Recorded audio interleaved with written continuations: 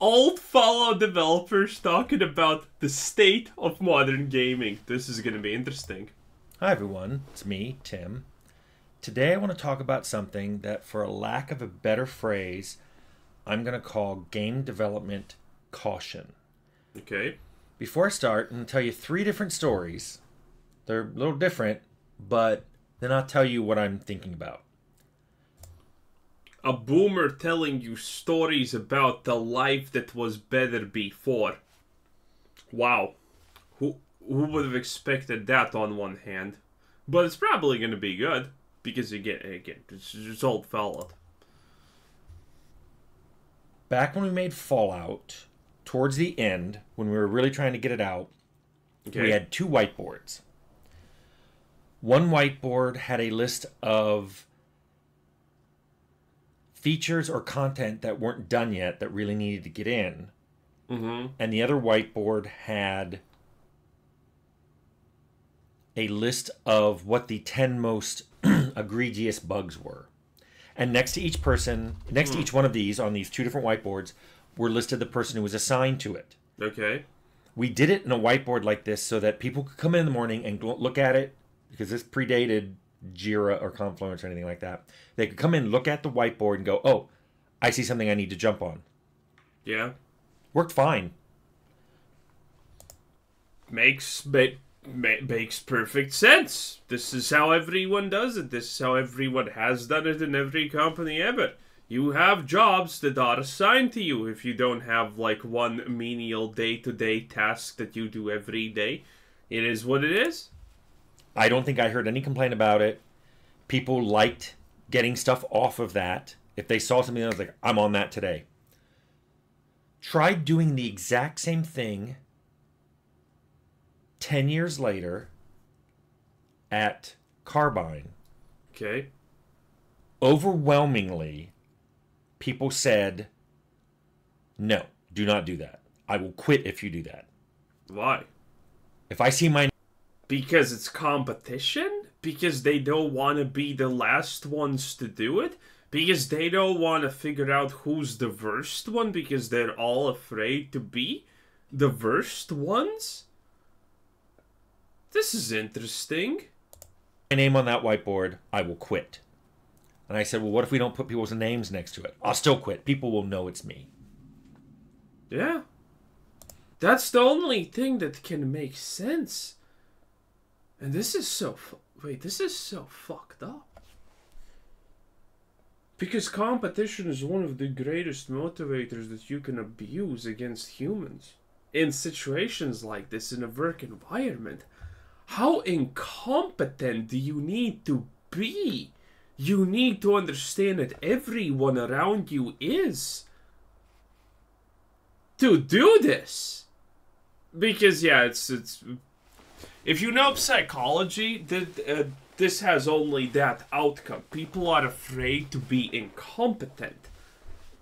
That is crazy.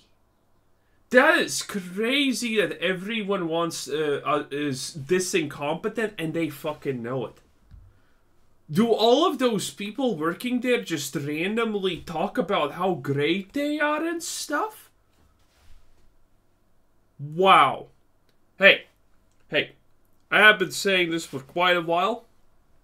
Don't give the devs slack, they're probably incompetent. And this is incompetency at the greatest level.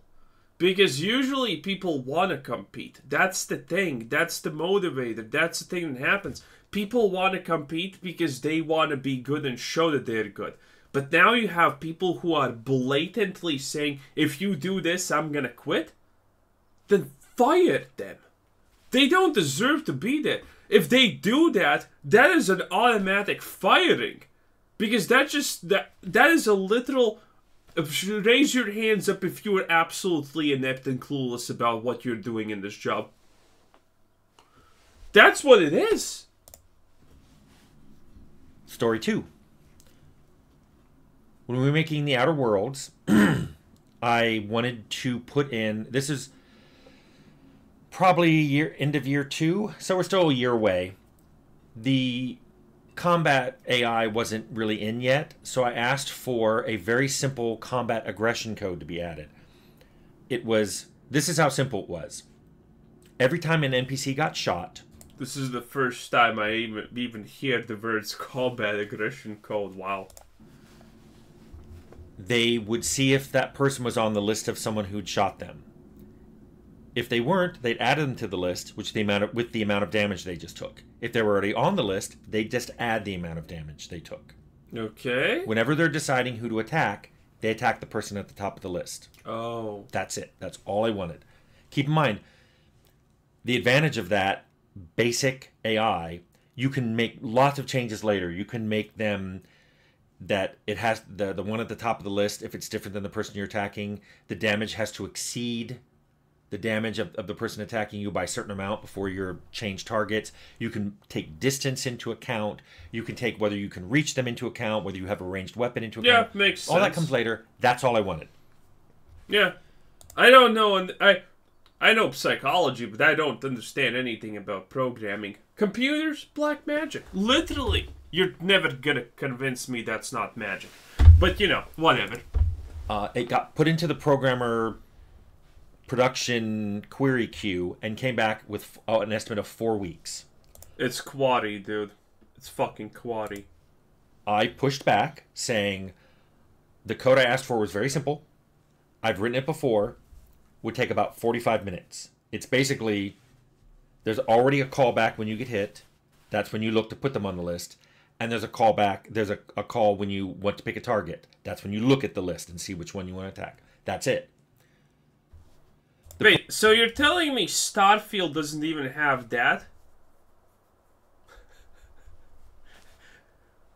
yeah, because there's so many situations in Starfield where you shoot some enemy and it just keeps on moving or doing whatever it's doing and completely ignores that it's taking damage until the point it collapses. So you're telling me this is something super basic done in 40 minutes and Starfield doesn't even have that? That's impressive. That that is impressive level levels of bad. programmer who it got signed to came to me and said, I need four weeks. And I'm like, why? Walk me through what you're going to do. And he goes, You don't understand. And I was like, I've coded this three times. Then make me Walk understand, through it." And yeah. he wouldn't. He left. That's that's firing. That's firing on the spot. Again, I I, I did. Man, oh my god. Good thing that he left because you should fire him. Again, this is what I'm talking about. uh, Incompetent developers. Look at this. This guy says this is 14 minutes. That guy t- says that's four weeks. It may it, it sud- suddenly why games are trash makes uh, it all makes sense now, doesn't it? It just puts into perspective everything. He left angry. Lead Obviously. came back, started yelling at me, saying, if he says he needs four weeks, he needs four weeks. And I'm like, then I will do it. I'll have it done before lunch. And he said, no, because no one, then people will have to support your code. I'm like, well, let me walk through. What does support your code mean? I'm going to walk you through what I want, and you tell me why this takes four weeks. He looked at what I wrote, which was about 10 lines of pseudocode on a whiteboard, and he goes, "Mm, I'll come back. He came back about an hour later and said, What about two weeks? And I said, Do I have any options here? Fine, two weeks. Jesus Christ, that's so. Dude, fire everyone. Just, just fire these people. Oh, oh, Why is this accepted in game development? Why is incompetence so prevalent and accepted in game development? I have worked in big, uh, big businesses, big firms. Bro, if you're not, if you're not capable of doing things, you know that other people know that are doable in a very very short amount of time you're probably getting fired really really fast. Yeah people are gonna uh, you know i- if people figure out that you're not capable of doing this that should be done in an hour but you're taking two days for it someone's gonna uh, probably be sent to teach you. And if you fail after that well you're gone boy. You're, you're gone. And because you don't deserve to be there in the first place Story three. Leonard, Admittedly, admittedly, I will st- I will tell you this. You know who are the most valuable people in a company? You know who are the hardest workers in a company? It's definitely not the people who can do uh, those things in one hour. No. Those are the people like me who can do the hard, complicated things in one hour, but you do it in two days. Because the last person needed five days to accomplish. And you're saying, yeah, this is. And, and you sell it. You sell it like there's no tomorrow. How hard the thing that you're gonna be doing is, how important it is, and how everyone should be happy, lucky, and literally licking your boots because you are so capable of doing it in two days instead of five. Well, in reality, it takes you roughly an hour. You doing that become the most valuable person ever. Again, it's not about actually being good. Everything is pre- presentation. And these people are failing at the most basic thing because you need to lie about the presentation. And these people are like, and by the way, obviously, some of you are smart. Some of you are saying, wait, but what if he uh, walks you through what's happening here? Well, first of all, you need uh, that's obviously what you take into account if you're smart. You take into account does the person asking this know what can be done, how fast it's actually doable, and do they understand it? Because if they don't, I just fucking give them a bunch of bullshit, uh, bullshit, and usually they will, you know, just say, okay, okay, got it, got it, got it. Because no one wants to live. Do you know what people hate to listen to? Things that they don't understand. No one likes not understanding anything. So start telling people about something that they don't understand, and they're gonna leave. They're gonna not like it. They're not not gonna want to hear it.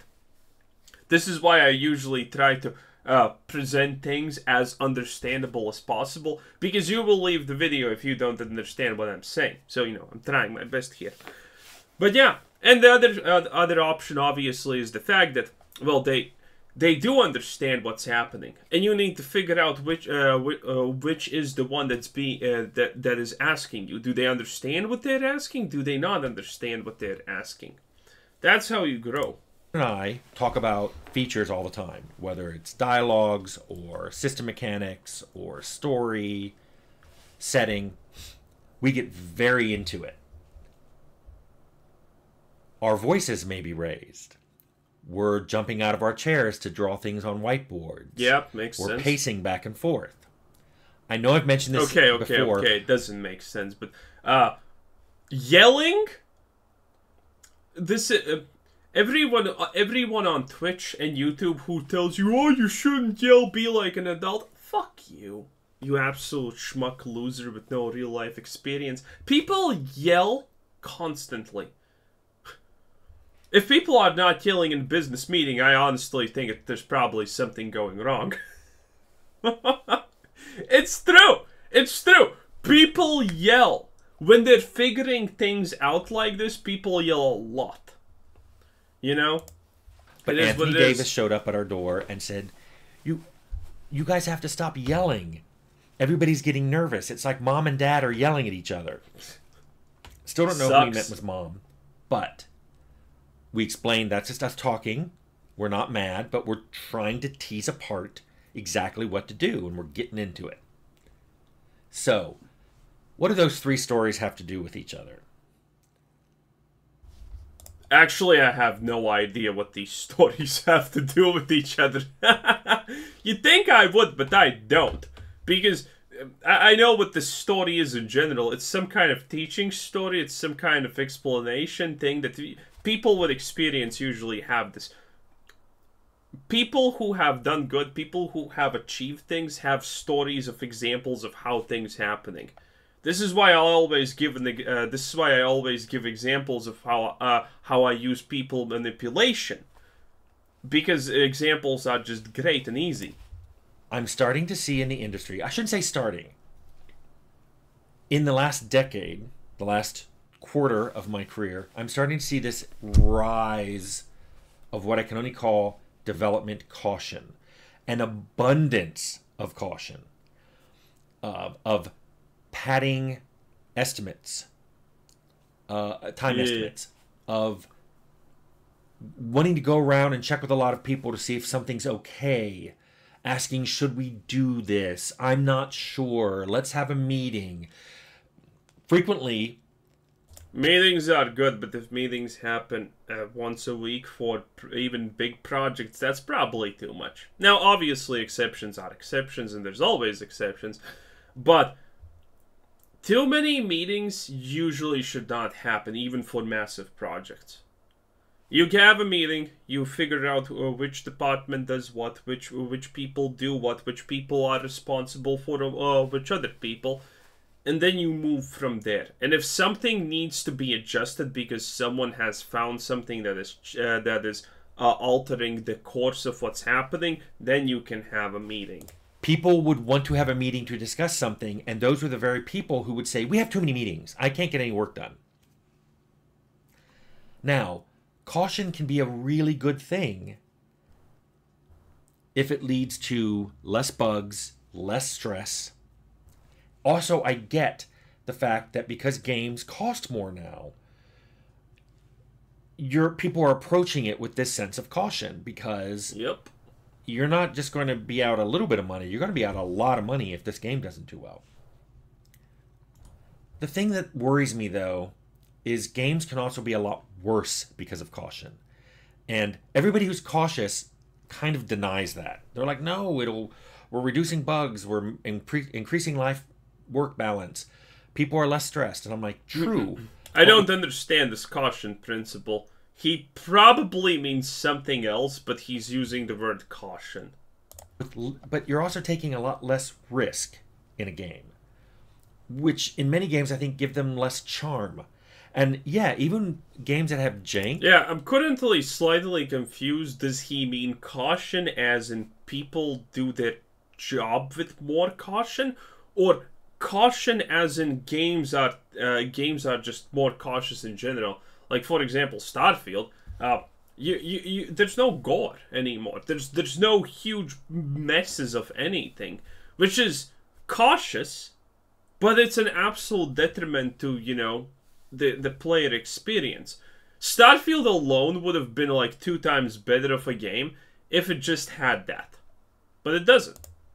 have a lot of charm my games have had jank uh, i know people talk about jank in other games. You know things where the AI, AI acts in a bizarre way in certain circumstances or npcs say weird things or do weird things. It can be charming. But things have changed and i know games have gone from being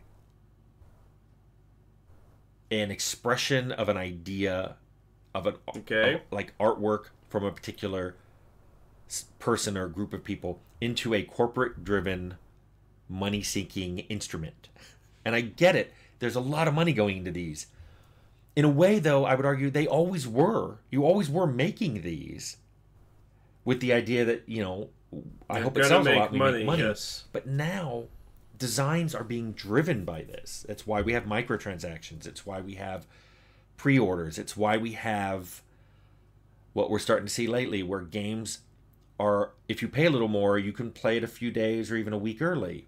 That's Now, you can't always get blame the oh, that's called early access. Right, right, right. Pre-orders, early access, different things. uh, Forgot. Excuse me. publishers Disclosing. or the developers for this. If people didn't pay for it, they wouldn't do it. Yep. It's like spam. If everybody stopped an- answering spam tomorrow, it would go away. But because a tiny percentage does, it's there for everybody to see. But so I'm not really talking about the money driven part. I'm ta- talking about how the caution is dampening down the ideas. It's why I want to double down on this. I've always thought the indie space is a lot richer in ideas. Probably not money, certainly not money, but they're much richer in ideas because they No, take less, obviously. uh, ri- they take they have in these one of the things that those people understand is that they need to experiment right they, they an indie development studio can't can't can't try to succeed by remaking fallout because one they're gonna get sued two uh, who, who wants bootleg fallout in the first place probably not a lot of people that's just the reality of it so you need to make something original as an indie developer to stand out. You need to either make something original or something extremely, extremely good. But even that extremely, extremely good will have original things to it. Think about most indie games that uh, come out. yeah, sure, they're not 100% fully original. Like, you know, you have seen systems, game is the game mechanics and things like that in other games, sure. But it feels authentic. And they do it really, really good. That's usually the indies that succeed. Less caution and take a lot more risk. And unfortunately, what I see then is um, AAAs that dip into indie games for features and ideas. By the way, it's not just publishers and developers that I see all this caution with. I've seen a huge rise in caution in game journalism. It's become the norm. Oh, really? That no one want, no journalist wants to risk getting into an embargo situation. No journalist want. This is what we also saw with Starfield. IGN was the only one that pretty much just gave them a 7 out of 10, while everyone else was giving them a 10 out of 10. If everyone is rating something a 0 out of 10 or a 10 out of 10, you don't want to be the guy who suddenly does the opposite of that. If everyone's rating it poorly, you pro the best you can do is try to rate it almost midway. Right? If everyone's rating it extremely well, you rate it well, but not excellent. That is also a downfall of journalism.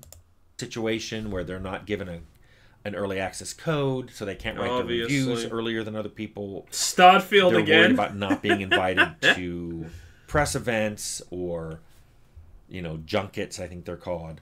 So a lot of them have gone a lot more cautious in what they say. I really miss the reviews.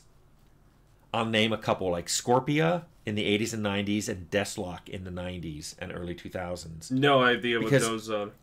Those two people, those two reviewers said what they thought.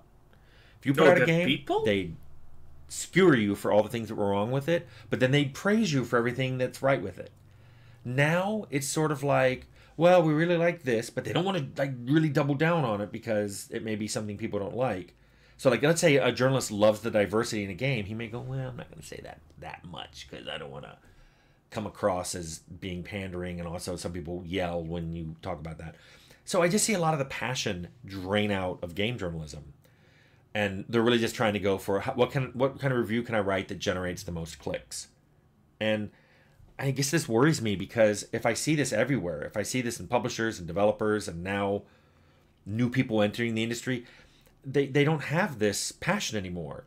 So you know what's the moral of all this? I'm, i, I want to tell people just go and make it make what you want. You don't need a hmm. committee to sign off on it you can Hmm. Well, always go back and change do. it or if you make something and it turns out not to be good at all and you actually do mostly need a committee that signs off on it. unsalvageable throw it away but that that rapid iteration to get to some really good idea is a lot better than just being so cautious that you basically creep up to a very mundane game that doesn't show any kind of passion in its development.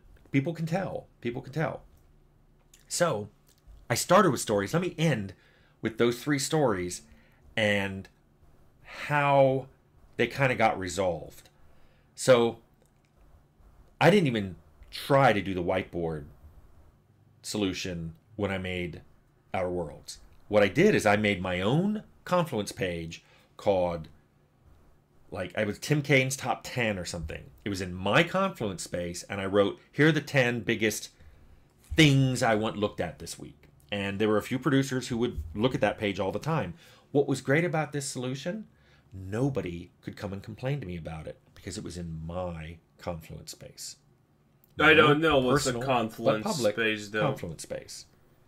Also, I'd like to point out that anybody could go to Jira at any time and say what are the 10 most high prior, highly prioritized bugs and who are they assigned to. So we already have Oh, I know what's Jira. I have heard about it. This is the thing that computer nerds use. Oh, I it, it's like a queue system or what they're gonna do system because the com- computer people are too stupid to just because they're too stupid to uh, to get their work done with, without that. Ah, it's really confusing.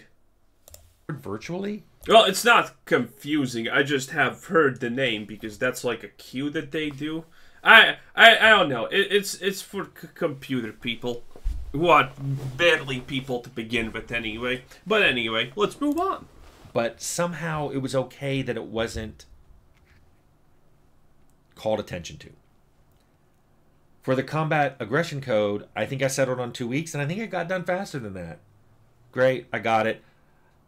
I don't think I asked for anything after that. I Nice. didn't go and specifically ask for anything because I realized that I was being viewed as some sort of ogre when I knew something could be done faster. Well, this is also the thing. Uh, and I will say this: this is this is clearly a weakness of this dude. So he's in. I don't actually know this person, right? But clearly, from everything he is saying, it, is blatantly obvious that he is at uh, at, at least some uh, some very very visible notion of power, position of power in whatever the, uh, whatever company he works in, right? Or maybe he's the actual owner. I, I don't fucking know. But if he was the owner, he would probably fire those people. So you know, probably so uh, probably a step uh, below that. You see, the thing that good leaders do is they don't just find capable people. They find capable people who know how to learn who understand how to learn. Like one of the things that really, really capable people test are not just how good this person is at their p- uh, potential job, but how good this person is at uh, so uh, social interaction. It's bigger than you think. Social interaction and how good they are at learning. Okay, this is what truly, uh, truly good, uh, uh, good le- uh, leaders do. This is what truly good bosses do. They because no, uh, I have said this a million times, and I'll say this again because this is a perfect opportunity. If you are a genius in your field, literally there's no one better than you. But you don't have like 50 trillion accomplishments below you. But you are without a doubt instantaneously one of the best in your field. If your field requires social interaction with other people you're probably not going to get hired. Unless your field requires you to not interact socially with people at all you're probably not going to get hired. Because no one wants to deal with an obnoxious piece of shit okay? That is the reality someone if this is the middle if this is the middle of skill and someone with this much more skill and this is like you know above average this is hugely above average this is above average. If these two people compete and this person's social skill is below average and that person's social skill is just average the average average wins out. Social skills matter okay? And the second one the, the big part here is it's the fact that people understand that people need to uh, know how to learn things. Uh, I instantaneously just fault this guy for being a bad leader because he's not trying to teach the guy who uh, is supposed to write the thing. He's uh, being a leader is not only just about saying, "Hey, you do this, you do that, you do this," and being like next level and say, "Haha, you're good at this, so you do that, and you're good at this, so you do that." No, it's about actually making sure people under you are capable of learning things that are important. For example, in this situation, okay, yeah, so a guy did it in uh, a guy was supposed to do it in 2 weeks and you know it's doable in 30 minutes? How do you not I'm mind blown that you don't instantaneously have someone already in line to teach other people skills, to teach how to do this properly, or to uh, teach how to learn uh, learn stuff. For example, that was one of the things uh, I uh, I had to do in uh, one of my jobs as an analyst. Um, when when other people, new people started coming, when there was a when there was a position, I was sent to give them a crash course of uh, how to think and how to do things because I was good at it. Okay, so yeah, uh, this is very surprising that this uh, this kind of stuff is not even done here. That he doesn't uh, try. He could teach uh, teach himself that guy or whoever uh, was coding it, and it would have been so much better. It, it's crazy. and there was no solution to it, which is why years ago I started thinking, "Ooh, this is becoming a problem." Same thing with Leonard and I yelling at each other. We just kept doing it. We're like, "It's our office. We're shut Smart. the door. We're not mad at each other, but this is the way we get things done." Note noted that people don't some people don't like it. We won't get things done like that with you. And let me tell you, I think there were people who felt like they missed out. Also, people who hear people yelling and don't have the social uh, skills to figure out, oh, wait a minute, this is good yelling or this is bad yelling. And yes, there, there is good yelling and there's bad yelling. Again, deal with it. If you don't know this, well, congratulations, you just got smarter. But i i if you hear two people yelling and you're like, hmm, I wonder if this is good or bad yelling that's that that that's all uh, also uh, just shows how you know you don't have these skills you don't have this understanding that there's a difference on not being parts of those conversations. Some people would come over. Uh, Charlie um, had his office right next door, and he would the lead designer on on Outer Worlds, and he would come in sometimes and join in. Great. Other people didn't do that. You missed out, and I think you. yep true true true so one of the things people don't understand about business and things like that, you often see this, right? Everyone probably has seen that someone comes to your boss and just starts talking to them about some kind of shit. And you think they're having fun. You think this is not even work, probably. In reality, it is work. You know? The, the, and this is, by the way, a, a, a very telling thing if you don't understand what he's talking about here, you are not a valued employee. Okay? You're not a valued employee. You're not in a good position. Probably. Well, you could be in a good position, but you're you're you're you're just never moving away from that position, right? That's also a possibility. But yeah, people just come and talk about stuff that needs to happen constantly because that's the process of figuring things out. And by the way, that's one of the reasons why I really, really love business and why I'm constantly thinking time to time, man, maybe I shouldn't make money as a YouTuber because I miss the corporate world so, so, so much. I really, really do. Because it is fun at the end of the day if you're not at the bottom. It is really, really fun. You missed out on some really fun, active, engaging conversations about game development. But that's the way Ideas, what's happening, how things are gonna look, how far things are along. People talk about this constantly. And if you're in a high enough position, you understand this because you were a part of it. Okay? You you don't need to be the uh, the, the head of a department or the, the lead of a team in a department.